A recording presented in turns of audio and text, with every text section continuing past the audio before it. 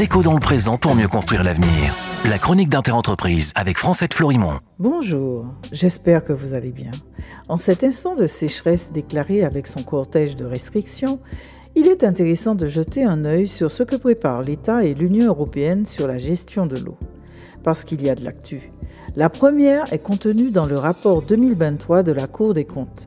Cette institution d'État pointe les incohérences quant à la gestion du précieux liquide qui fait que, même sur le continent et encore plus outre-mer, les eaux de surface comme les masses d'eau souterraines sont touchées par des pollutions diffuses comme des nitrates et des pesticides notamment, ou des pollutions ponctuelles quand les industriels déversent dans les cours d'eau ou dans les fleuves les résidus de leur activité, se souciant peu de leurs conséquences.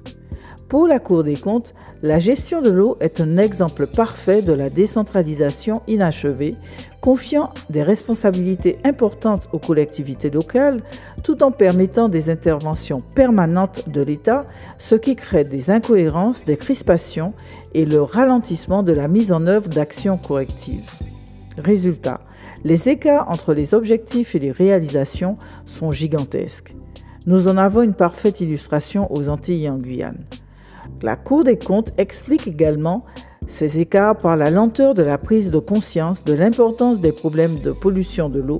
Ici aussi, de nombreuses dérogations obtenues dans les milieux agricoles locaux pour continuer à utiliser des substances pourtant réputées dangereuses, les résistances aux changements dans les comportements, l'insuffisance des moyens de contrôle de l'État, et des transferts de compétences qui souvent rajoutent de la complexité font que la qualité de l'eau s'est dégradée partout sur le territoire national, outre-mer compris. On continue demain. Prenez soin de vous. Déco dans le présent pour mieux construire l'avenir. La chronique d'Interentreprise avec Francette Florimont.